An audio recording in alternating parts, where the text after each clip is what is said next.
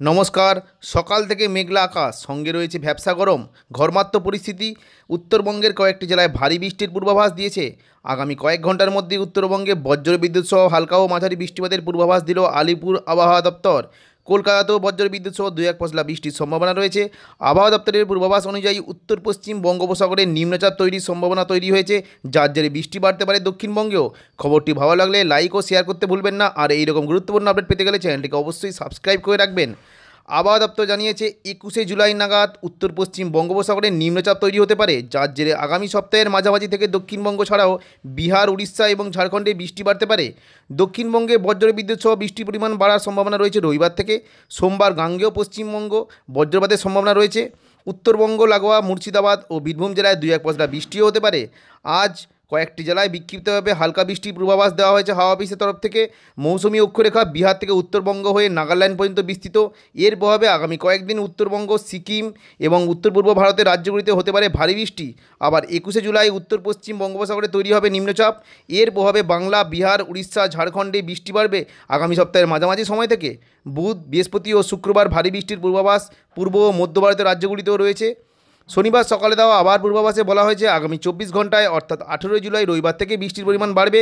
তবে দক্ষিণবঙ্গের কোনো জেলাতেই খুব ভারী বৃষ্টির কোনো পূর্বাভাস নেই। কোনো কোনো জায়গায় হালকা থেকে মাঝারি বৃষ্টিপাত হতে পারে।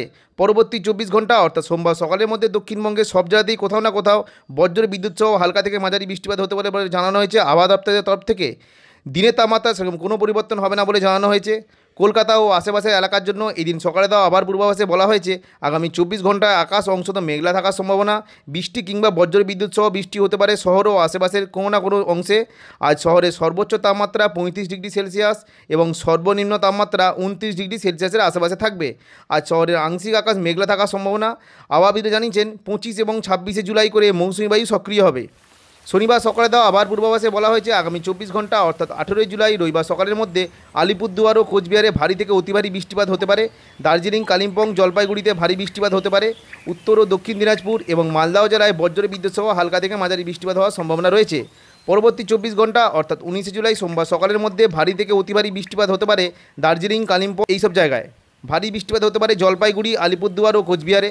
উত্তর ও দক্ষিণ দিনাজপুরে দু একটি জায়গায় বজ্র বিদ্যুৎপাতের সম্ভাবনা রয়েছে। এছাড়াও দু এক জায়গায় ভারী বৃষ্টিপাতও হতে পারে। মালদাতে বজ্র বিদ্যুৎ সহ হালকা থেকে মাঝারি বৃষ্টিপাত হওয়ার সম্ভাবনা রয়েছে। উনিশে জুলাইয়ের পর থেকে উত্তরবঙ্গে বৃষ্টি কমার সম্ভাবনা, তবে দিনের তাপমাত্রা সেরকম কোনো পরিবর্তন হবে না। এখনকার মতো খবর এখানেই। এর পরবর্তী আপডেট পাওয়ার জন্য চ্যানেলটিকে অবশ্যই সাবস্ক্রাইব করে রাখবেন এবং পাশে থাকা নোটিফিকেশন বেলটি অন করে রাখবেন। ধন্যবাদ।